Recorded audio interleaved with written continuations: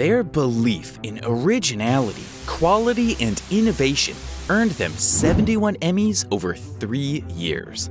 They built their own fire that is catching everywhere with a base of over 195 million paid subscribers worldwide. This is the story of Netflix. Hey everyone, and welcome to Booked, where we inspire others with inspiring stories. In today's video, we are going to go over the success story of Netflix and talk about its founders, Reed Hastings and Marc Randolph. So make sure to watch this video till the end, because we are going to share with you the books that the founders read along his amazing journey. Books that changed their lives, and that may change yours. But before getting to the middle of today's video, make sure to subscribe to the channel. There are two ways to enjoy a day off or the remainder of a workday. You either wind down through relaxing activities, which puts you in the slim minority, or you kill time with your favorite shows, and that's where the rest of us, also known as the majority, lie. Speaking of shows, television does not offer much convenience. With the commercials raging every five minutes and the cable becoming increasingly costly, television is defeating its original purpose of entertainment. Not only that, circumstances come in the way, or you may not be able to get your hands on your favorite international program on your national channels. Not a very nice experience. The emergence of Netflix, however, made the possibility of a memorable experience a complete reality. It's become that hard for people to prefer any other activity besides sitting for their daily Netflix and chill session, which nobody could ever decide how long it should last. How did it get there? Let's find out how the founders did it. Who were the founders before their ways crossed? The founders, Marc Randolph and Reed Hastings, come from different interesting backgrounds before meeting.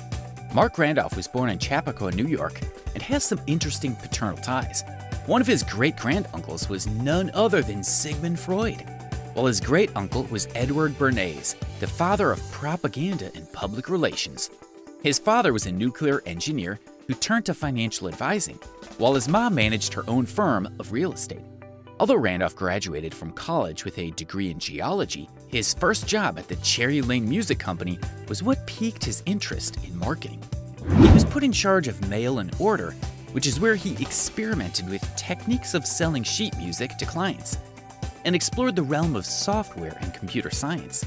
To his fascination, he worked on it to see if he could take advantage of its potential for marketing.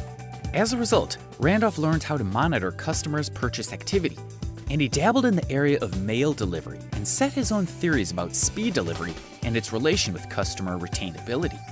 Each of these experiences would later prove to be of use to Randolph. After working for eight years at Borland on marketing strategies development, Randolph left to work in a number of small startups across Silicon Valley before settling on one of the nine founders of Integrity QA.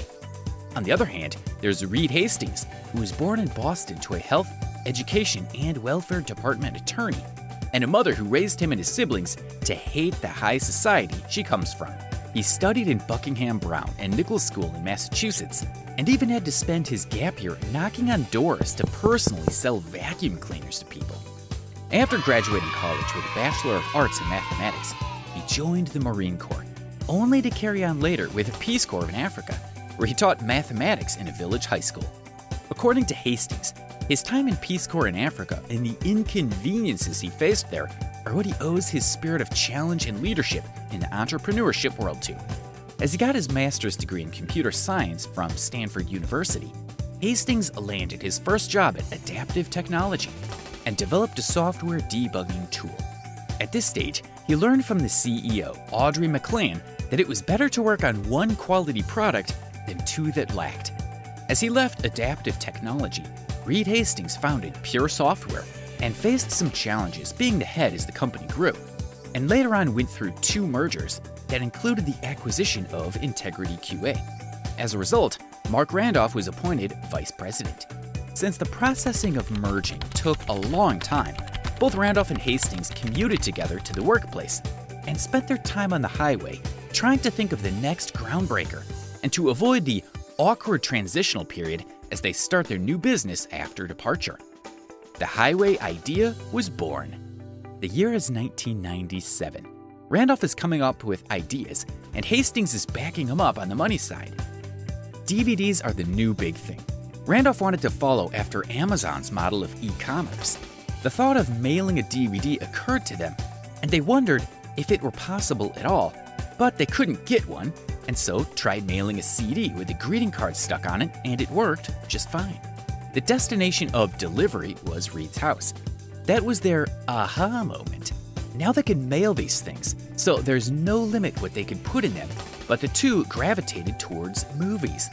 They thought of various names for their business, now showing Take One, NetPix, and finally Marc settled on Netflix.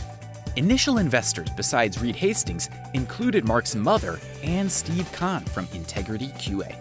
While Reed Hastings resumed his studies at Stanford University Graduate School, Marc Randolph assumed the position of chief executive and took on designing and developing the user interface. He made sure it provided the best possible experience by constantly improving it and always being on the lookout for what's better to include. The result was an online catalog of movies that doubled as a platform for the company's market research for future enhancements. This enabled him to see which editions worked and which didn't. In 1999, Netflix's successful and effective business model emerged subscription based, no due dates, no late fees, unlimited content access, and a queue that mails DVDs in the requested order. The company even upgraded its system of delivery where it mails you your next DVD as soon as you mail back your previous one. Netflix was working with a little over 900 movie titles, and as a small growing company, it faced a problem of having a small DVD inventory. To solve that, it connected its interface with Cinematch, an engine which fed on user data, and based on that, it recommended shows that were in stock and lessened the pressure on what shows that were set for new releases. Although it might feel like the founders had it easy and that there were no problems, it is reported that by the year 2000, Netflix hit a new low and was at a loss. Reed offered to sell it to Blockbuster Video for $50 million, but they laughed at the idea and rejected it. The dawn of success. When the company successfully pulled through and went through its first IPO, Marc decided his job of closely monitoring the startup stage was done, and Netflix was doing great, so he parted ways with the company. Though it sounds like he left too early before great things happened, Marc says he has no regrets, and he takes great pleasure working as an entrepreneurship and leadership mentor, a speaker, and an entrepreneur for High Point University. His net worth is currently estimated at $100 million. Carrying on with Netflix, Reed explored new areas and reached new heights through launching the streaming platform in 2007. By 2011, it was available in Canada, Latin America, and the Caribbean. Netflix then successfully released its first originals, among which was Orange is the New Black and House of Cards.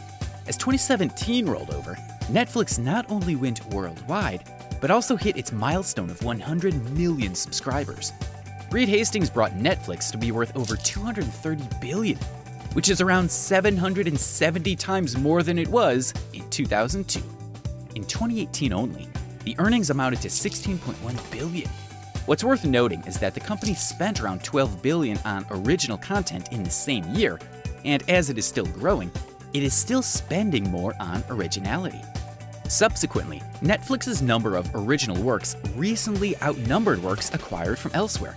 This helped the company immensely in dominating the US views, and so it occupies a massive 70% of them.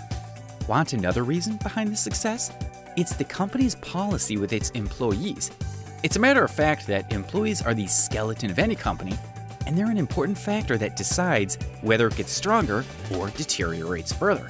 Netflix CEO is well known for his innovative ways, mainly that of the no rule rule and the principle of responsible freedom, in which employees were left to manage their time freely but responsibly rather than taking days off or even sick leaves.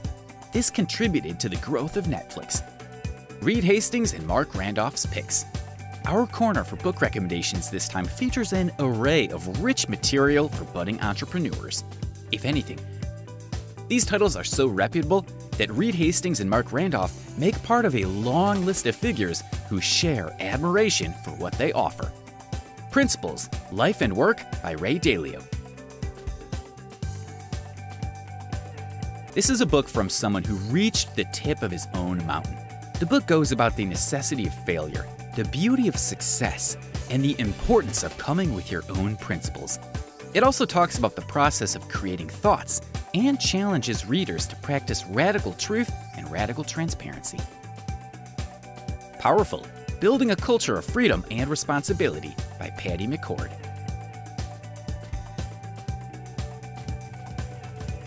McCord is credited for the unique creative culture at Netflix, and her book is listed by the Washington Post as one of the 11 books for leadership, team recruiting, and motivation par excellence.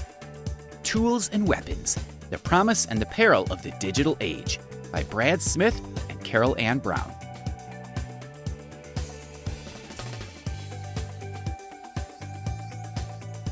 Instantly a New York Times bestseller from Microsoft President a necessary guide on how to find the balance between real and digital life as the digital one seems to take over. That will never work. The Birth of Netflix and the Amazing Life of an Idea by Marc Randolph.